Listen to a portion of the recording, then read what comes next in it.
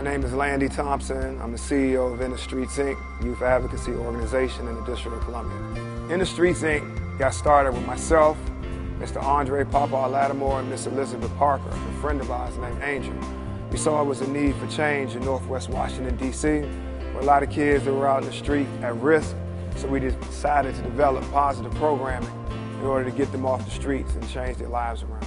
There's many challenges that kids face in the streets, which are um, teen pregnancy, um, shooting, gangs, uh, rape, uh, drugs, uh, not their families not being there, their parents getting locked up, their brothers and sisters doing something, chilling at the block, getting locked up as well. You know, not having a mentor to be there for them. And it's just like we have to grow up so quickly that we think we know it all. And it's like, it's not like that because we don't know how it is to live in the world until you work hard for it, until you see it and then like they they try to change it, but it's, it's sometimes it's too late because they probably locked up, killed, or in the hospital.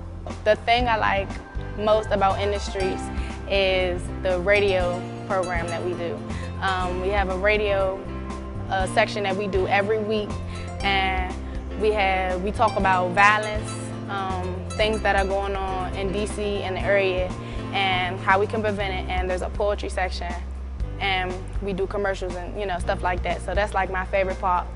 The program started out with just a few volunteers addressing the average people that were out on the street corners, those that nobody seemed to care about. We went to ANC meetings in the community, mayor's office meetings, along with just basic meetings on the corner with crews and gangs. That scenario, we decided we would put together a profile and a program format for a summer youth employment program, which was granted by Pro Urban Youth and Councilman Jim Graham. After that, it seemed like it was constantly always building to try to be better than the next program, to give our kids a little more, from museums to music appreciation to a go-go band. This is highly respected band. We want y'all to show us love and support. To outreach support services for other programs in Washington metropolitan area. If you have a problem in the streets and you want to solve it, you always welcome to come join. There's not, there's no beef here. There's no, I want to fight this person. I want to get back at that person. There's none of that here. Like we all come together. When we don't, when we first met, we didn't know no one. We didn't know who who was who, who was what. Because I'm not from uptown. I'm from southeast, so I didn't know no one from here at all, except like two people. But I end up meeting everybody. I end up getting close to everybody, and we end up, you know what I'm saying, being able to talk to each other with no hesitations, with no bass in our voice. We've been able to just to rap to each other like it's just a family because, you know what I'm saying, no drama, no trouble. I started coming uptown because I live in Southeast. I started coming uptown and I was in a program. A lot of the stuff changed. Like uh, the one of the boys that do live in my block come to the same program, come here, and we don't even have no beef no more. We talk, you know, over the situation that did happen in the past, and we let it go. So now we we cool. Like it's no it's no real problem. And when we go meet other people, most people, if you see them, you probably be like, oh, I don't like them because of the way they act. But if you actually sit down and talk to them, I met a couple of people from the outreach that we did. I found out other people write poetry just like me. And we became cool just off the simple fact that we both do something, we both have something in common. Well, squash and beef is basically like, is like slang for like hoods, different hoods like CTU or Wall. Like if they were like going at it, like squash and beef is like, we don't want to go at it. We need to all come together and talk working through why are we beefing. basically, it's never any reason for them to be beefing. They just be over. It, it be over nothing. It could be over like a bottle of soda. We, and then next thing you know, we killing each other.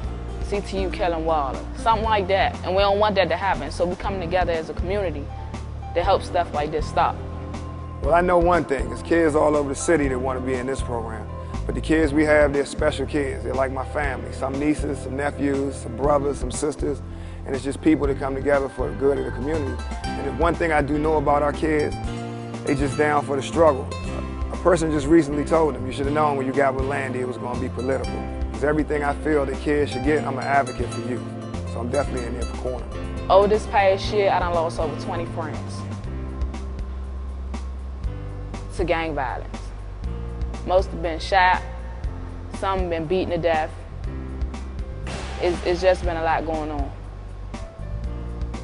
Some of the challenges we currently face are during the summer months, we have a home where Boys Club has allowed us access, Parents Association uh, allowed us to have a program in their building for the summer. In order for Industry Inc. to grow, and spread out, we need national volunteers and organizations such as Clark Construction, NBA players, NFL players, baseball players to come together because the program takes money.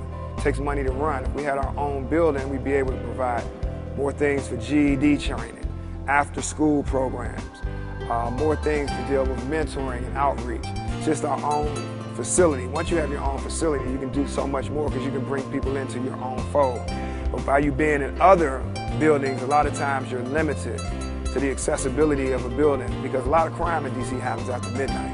So we want to bring programs during the summer months to go up to that point and try to bring kids in to do things out of town. To like take them skiing or to take them boating, some things that inner city kids don't normally get a chance to do. That's what we put on our program format. Like going to see the color purple or traveling downtown to the White House. Just different cultural things like going to the Civil War Museum, bringing HIV programming in, bringing in mentors from George Washington University for the RISE program. It's just so many things, an HIV pregnancy program. Uh, it's just, the, the possibilities are endless. I know a lot of people have got killed just by their clothes alone.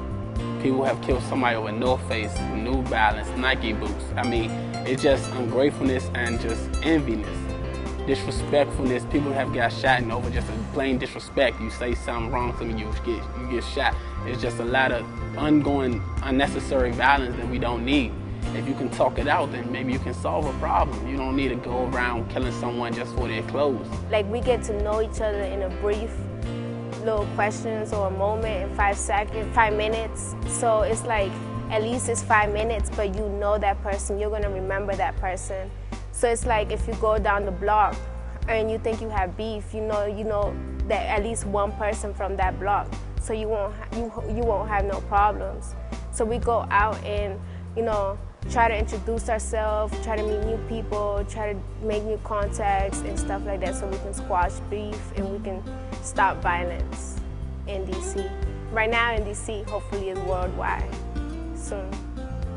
My name is Landy Thompson. I'm the CEO of In the Streets Inc. A lot of people seem to think when you say In the Streets Inc., you're just talking about me. But with all actuality, I'm talking about my conglomerate. One, one mission, one vision, one goal. We are the community.